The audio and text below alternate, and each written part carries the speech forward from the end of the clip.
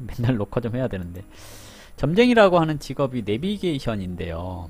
내비게이션이라고 하는 것은 방향을 알려주기만 하는 거잖아요. 어느 방향으로 가면 됩니다. 어디가 막힙니다. 뭐 이런 거. 근데 맹신하는 거 뭐 물론 잘 맞으면 명신할 수도 있겠죠. 근데 자기가 아는 길이면 돌아갈 수도 있거든요. 저도 운전을 잘하지는 못하는데 동네 다닐 때는 내비게이션을 그래도 켜고 다녀요. 혹시나 해서 혹시나 해서 켜고 다니거든요. 근데 아는 길이면 내비게이션이 알려주는 길로 안 가거든요. 아는 길이니까. 예, 익숙하고 편한 길이니까. 이게 사람이거든요. 이게 일간이 근이 있어서 그런가? 근데 내비 따라 갔다가 엉뚱한 길로 뺑뺑 도는 경우들이 가끔 있거든요. 아 낯선데 낯선 길인데 왜 자꾸 이쪽으로 가라 그러지? 이렇게 따라가다 보면 괜히 모르는 길 가다가 신호 위반도 하게 되고 내비에 신경 쓰다 보니까 그래서 오히려 더 피해를 보는 경우들이 많거든요. 그래서 저는 내비를 모르는 길 갈 때만 내비를 믿고 가거든요. 아는 길 갈 때는 그냥 내가 아는 길로 가거든요.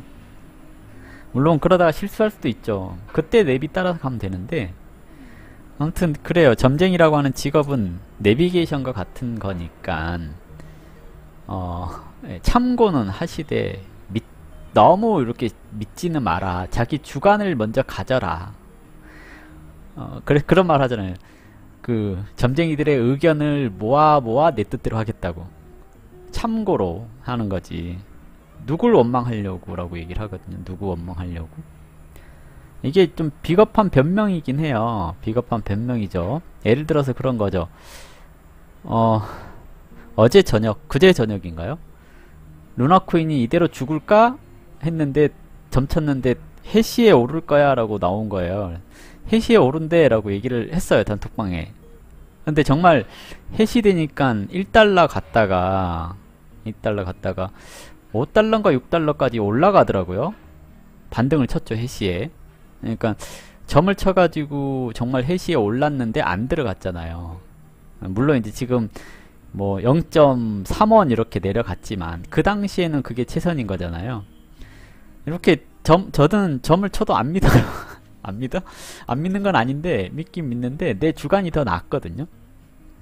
그러니까 자기 주관대로 행동했으면 좋겠습니다. 근데 그런 것도 있어요. 사실은 어차피 알려줘봐야 자기 팔자대로 결정하거든요. 자기 팔자대로. 그래서 비겁한 변명이지만 점쟁이의 말을 100% 신뢰하지 말고 참고용으로 해라. 라고 하는 것도 있고 내가 이렇게 말해봐야 지 팔자대로 하겠지라고 하는 마음도 있고 그렇긴 하거든요. 음, 뭐가 먼저일까요? 이거 닭이 먼저냐 알이 먼저냐의 같은 문제 같기도 해요. 어차피 알려줘봐야 자기 팔자대로 한다. 예, 점쟁이한테 의지하는 것도 팔자다.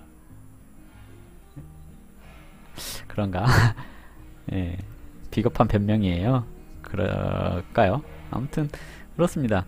결론은 이제 저는 점을 쳐놓고도 안 들어가가지고 600% 먹을 수 있는 거를 못 먹었거든요. 그래서 아무튼 그렇습니다. 이게 점쟁이 너무 실 너무 신뢰 신뢰는 하시되 너무 의지는 하지 마시고 그렇고요. 모든 일은 자기 팔자에 준해서 일어난다 라고 생각하고 인생 대충 사셔도 됩니다. 다만 하루하루 순간순간 최선을 다하고 살면 그게 정답이 아닐까라고 생각을 하거든요.